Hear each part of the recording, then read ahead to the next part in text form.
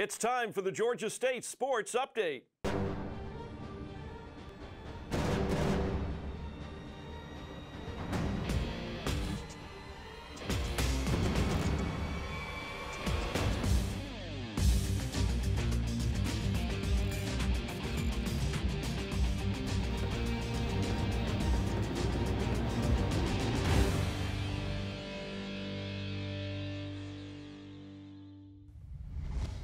Dave Cohen in studio this week on the Georgia State Sports Update with Brandon Leak. He joins me on the radio as color commentator. We're just back from New Orleans, Georgia State, unfortunately, a first round exit in the Sun Belt Conference tournament, a loss 63 61 to the Bobcats of Texas State. Not what we were looking for or hoping for heading uh, to the Crescent City of New Orleans, but it is what it is. And the Panthers end up finishing the season, Brandon, at 16 and 14 this year. Yeah, certainly something we're not used to being home early and not playing on Sunday. But uh, Coach Ron Hunter and his coaching staff did a phenomenal job this year. There was a lot of turnover and change and uh, a lot of continuity that needed to be worked out. And I think the guys are going to be better for next season going through some of the trials and tribulations they, they had to go through this year. Again, uh, the team last year, of course, wins 25. They beat Baylor in the NCAA tournament after winning the Sun Belt Conference tournament. It was, for Georgia State basketball, a little bit of an adjustment. Life after R.J. Hunter, life after Ryan Harrow and Curtis Washington and Ryan Green, a couple of new faces.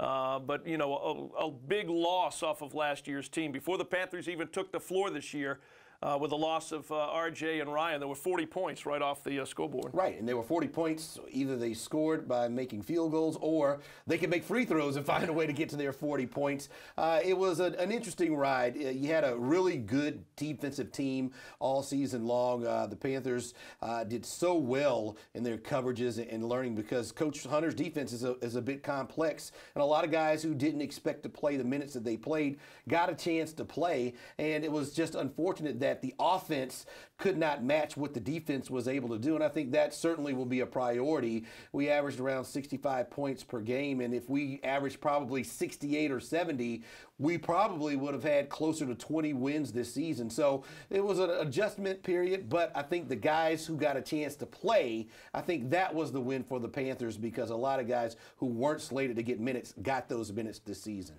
I think going into the season, too, a lot of Panthers fans just looked at it and said, okay, well, Ryan Harrow's not here and R.J. Hunter's not here, but Kevin Ware's back after playing so well and really leading us to that win uh, in the Sun Belt tournament last year. And Jeremy Hollowell, who transferred in from Indiana University, who we had heard a lot about and had a chance to see in practice. I think a lot of people just assumed that those two would kind of become and fill the shoes uh, of, of Hunter and Harrow, which, you know, um, some nights they did, but many nights they weren't able to do that. Well, you just can't assume chemistry. The guys right. have to get out there, and they did well. They, they pretty much played to their strengths and played their roles. Uh, Jeremy Hollowell was supposed to lead us in scoring. He did. Kevin Ware was supposed to be the number two option. He was. And so those guys had to work things out. When teams started double teaming Jeremy, it was the first time he had to play with guys taking his strengths away from him. And so something RJ Hunter had to learn last year, a professional player this year, uh, when teams double teamed him, his game had to change a little bit. And so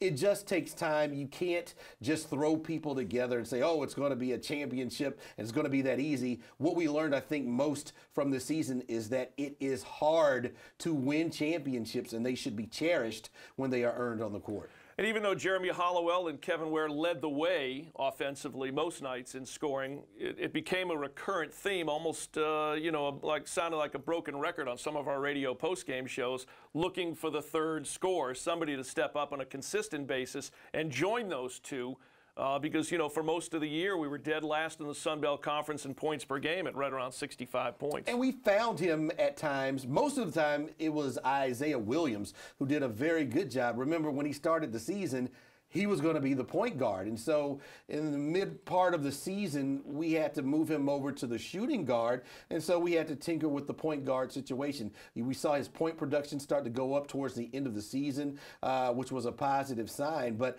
uh, again, a guy had to have a role shift. He had to go through uh, some chemistry changes with his teammates. And then we had to deal with a point guard situation, which was changing. I mean, we saw Isaiah Dennis, we saw Austin Donaldson, uh, we saw Kevin Ware run the point guard. So uh, there were a lot of changes and, and Hopefully next year Isaiah will be better for it. Jeremy will be better for it, and our point guard situation will be uh, outlined a little bit earlier in the season. Again, as you said to Austin Donaldson coming on late, able to get uh, some valuable minutes, but I think fans again who have followed the program have gotten used to seeing Devonta White for four years followed by Ryan Harrow for two years. I mean, it kind of got spoiled a little bit with some really solid point guard play. Yeah, when you put it up 70 points and 80 points, when you don't even have to think about it, it does get uh, a little spoiling to, to the crowd and to us. I mean, how many games that we call yeah. uh, when we would be up 15 and we make it 20, or we be down 20 and come back and win the game because you just had uh, such an array of firepower. So now in switching,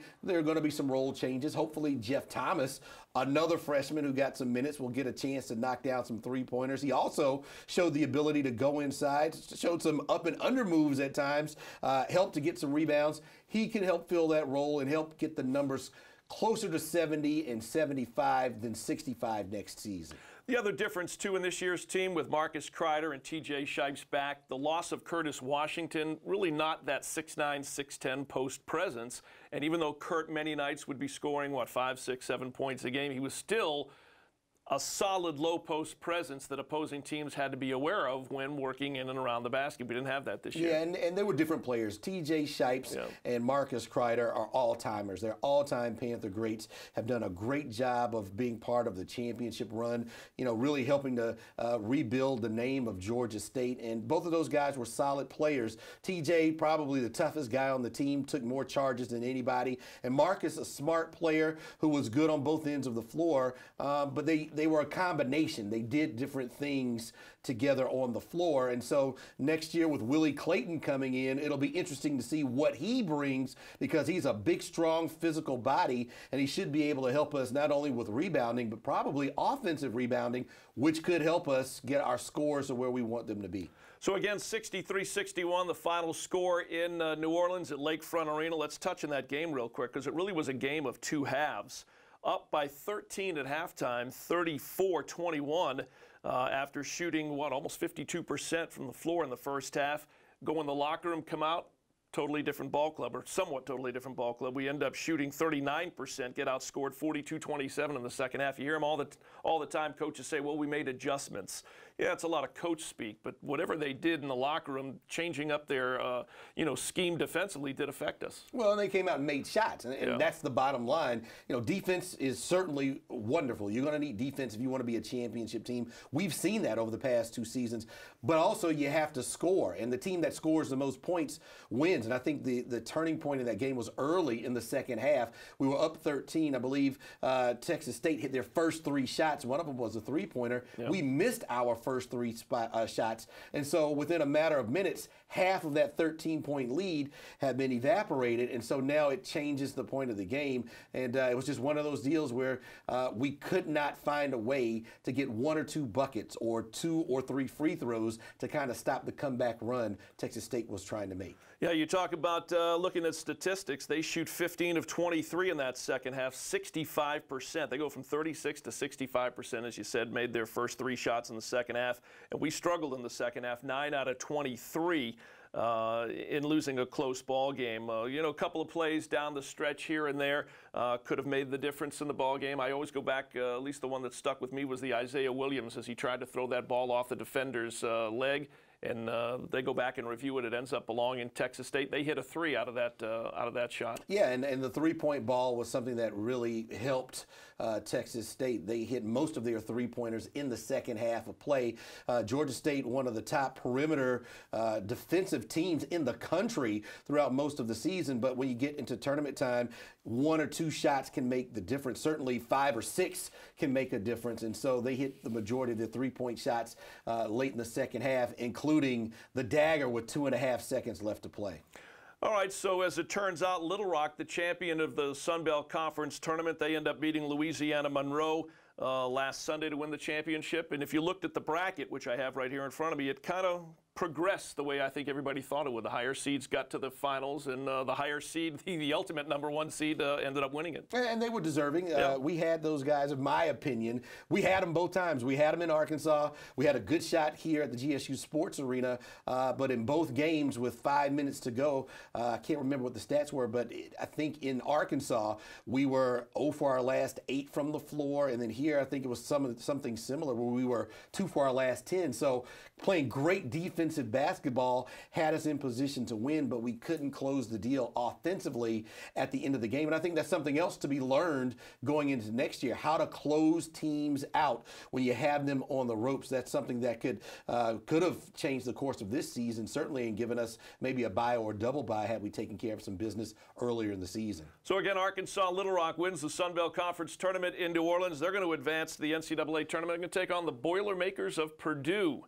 Uh, so they're the only team that ends up in the uh, in the uh, NCAA tournament out of the Sun Belt Conference. Real quick, women's basketball, Sharon Baldwin Tener's crew, 10 and 19 overall, 5 and 15 of the Sun Belt. They did not advance to the Sun Belt Conference tournament. They're back in a rebuilding mode right now. Yeah, it was tough for Coach Baldwin Tenner. She had uh, so many pieces in and out of the lineup, key pieces. And then we talked about that chemistry. Even though you get your pieces back, it doesn't mean automatically you're going to lead the Sun Belt in three point percentage and you're going to just take over.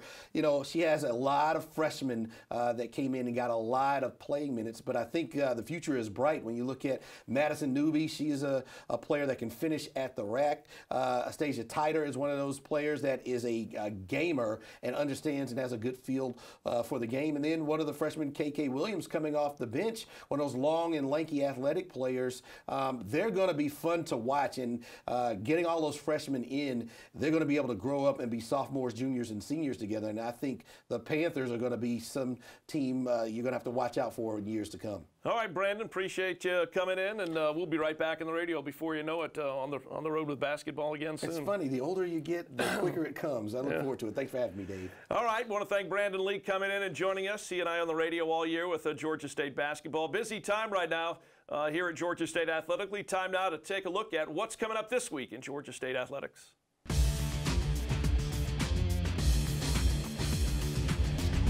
This week in Georgia State Athletics on Saturday, March the 26th, it's an all-day event, beach volleyball hosting the GSU Sand Slam at the GSU Sand Courts. That's located right behind the Georgia State Sports Arena downtown. On Sunday, March 27th, Monday, March 28th, and Tuesday, March 29th, women's golf hosting the John Kirk Panther Intercollegiate out at Eagles Landing in Stockbridge, Georgia. On Wednesday, March 30th, Georgia State baseball on the road to Macon to take on Mercer.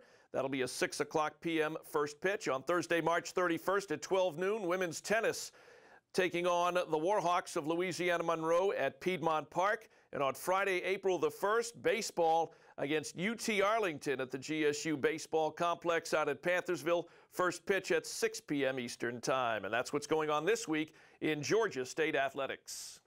Well, if you've been to a Georgia State men's or women's basketball game, a football game at the Georgia Dome, no doubt you've seen the cheerleaders, you've seen the dance team, you've seen the mascot Pounce. Who coordinates all that? Well, our Callie man caught up with the director of spirit squads within Georgia State Athletics, and that's Daryl Lyons.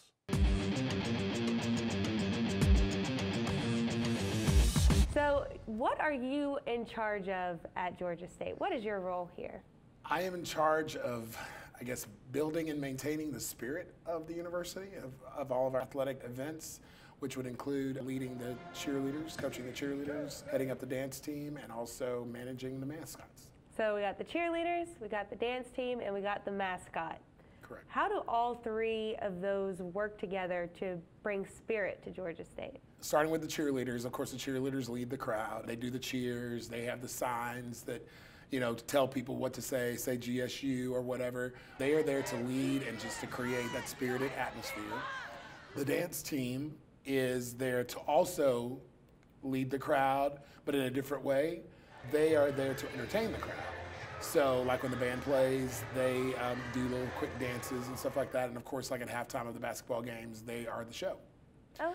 And then Pounce, of course, is there to lead, the crowd, entertain the crowd, all three pretty much in one because he is the ambassador that's walking through the crowd, taking pictures with the little kids, you know, just entertaining people.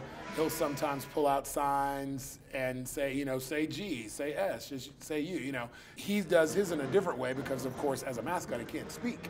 So he definitely has to get your attention with a sign or with gestures or something like that. Basically, all three of those components working together create the really exciting atmosphere that we have in the in the in the arena. I mean, what do you teach the cheerleaders? What do you teach the dance team? What are some of the values you instill in them to make sure that they go out, they give it their all at all of these events? The values that we instill in the teams or in the in the athletes are confidence, uh, commitment, resilience, teamwork, mm-hmm. dedication because those five things will make them successful adults when they when they leave college. Those are things that we have to have daily to be successful as a team. I mean, if you're, you know, with the co-ed team, if your girl is feeling like she's not wanting to work as hard that day or she's feeling a little ill or whatever and the guy is really motivated, they've got to come together and be motivated together on the same page so that their stunts will hit. Because with a co-ed team, you've got one guy with one girl on top of him and if something's wrong or if there's a bad chemistry imbalance, then the girl could fall or, or the guy could stumble and he could get hurt or whatever. So it's really, really important for everybody, everyone to be on the same page and to be dedicated and to be committed and to be ready, you know, for what they have to do each day because it can be dangerous if they aren't. Oh yeah, I fear for them sometimes. Right, like right. just because I can't do it, I'm like, oh no.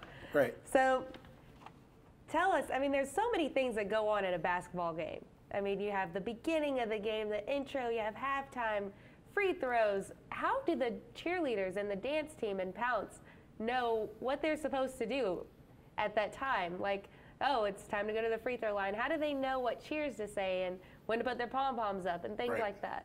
Well, a lot of those things we've done for years. I mean, they're just tradition, but we obviously go over those things in practice. I mean, practice, practice, practice. I mean, just like in any other sport or activity, at every practice, I mean, we warm up, stretch out, warm up all of the skills that we're going to do. You warm up your standing tumbling, like you're saying, for free throws, and then we go over everything that you're going to do in a game. We go over how to enter, where to go on the floor, what your formation is, what you're going to do when you get to the formation. So all of those things are clear you know, the night before or two nights before. We'll, we'll go over that for a couple hours and, and practice that stuff. And then, of course, before the game, we're upstairs on sixth floor going over it again to make sure that everybody's on the same page. So when we go out there, we don't, you know, we don't want to look crazy, basically. so what about the pep band? I know that you guys are two separate entities, but when it's game time, it seems like you guys work together. Yes, we have a great relationship with the pep band. Um, Chester and I have been here the same amount of time. We both came in uh, during the years of the, the, beginning of football. And my philosophy, coming from Arkansas, at the University of Arkansas, our band and our cheerleaders, the dance team, the entire Spirit program works together to entertain and lead the crowd.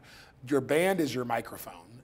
They accelerate everything that we're doing. So they're going to back us up. Not only just cheering like in the in the arena, they're great at cheering with us, like doing the sideline chants and stuff like that. But also every song that the band plays, most every song that the band plays, like all the spirit songs, we have choreographed things that go along with it: words, voiceover, signs, dances, whatever you know, stunts, whatever it takes to get the crowd excited. So all of that works together. You've got your dancers that are there to entertain at halftime and during the game the cheerleaders are leading, and then the band, of course, is giving us the backup with the music. So it just makes the atmosphere amazing in there. I mean, when, when we've got all of those seats filled and everybody's ready and, and the Panthers are on the court, it's, it's exciting. It's really, really amazing. And it is very exciting, and the girls are always excited and into it. And I've always wondered, there's a, they have to have a sense of Panther pride in themselves. Absolutely. You have to have pride in your school. You have to enjoy sports and mm-hmm. athletics. Because, I mean, we've had, in the past, we've had cheerleaders that are like, oh, I really don't like, you know, guys and girls, oh, I really don't like football or I don't like basketball. But when you become a part of the program and you're there at every game, it, it, it builds up in you. It, it, you just kind of, you can't stop it from, you can't stop becoming, you know, a Panther proud person. You know, if that makes sense. It makes perfect sense. I mean, because we're at every event. You know, I mean, we go to not only the games, but we're at you know philanthropic type things to uh, to get people engaged and get people excited about Georgia State because now they're a part of our family. So all of that stuff that you do, going to camp in the summer and going to all the football games and going to events where you're with the president speaking or with little kids, entertaining stuff like that, all of that builds your Panther pride. So when it comes down to it, you know, at games and pep rallies and performances and stuff, I think at that point, you know, if you didn't have it, you've got it because you're smiling, you're excited, and you're ready for us to win. What happens after we make a free throw? as our tradition here at, at Georgia State, it happens at other schools as well. But um, after free throws, if our team is on this side of the court, which is the same side of the court with the cheerleaders, the cheerleaders go GSU and they throw their palm up, and the guys catch it with the megaphone. And I think we saw this at our Sun Belt tournament last year, and we thought, oh, that's kind of cool. Let's do that. So we kind of adapted that uh, this year. Sometimes at, at timeouts, um, like if we have a quick timeout and we don't have something planned, we spontaneously, um, some of the members tumble across the floor. And this is obviously a, a big crowd favorite. Um, most of the kids, I'd say 80% of the kids on the team in, in the program have tumbling, running, tumbling, standing, tumbling, because that's a basic requirement. So tell us a little bit about Pounce. What is Pounce all about? He's the image, he's the brand, he's the silent spirit of Georgia State. We have four young men that work in and out of the suit. Those guys remain nameless because it's as tradition. You want that mystique of Pounce to be that mystique. You want it to be a mystery. So we do not let people know who Pounce is, but a lot of times people can kind of tell, I guess you can say. But we try as, as much as possible to keep that tradition alive of keeping it silent and, and secret.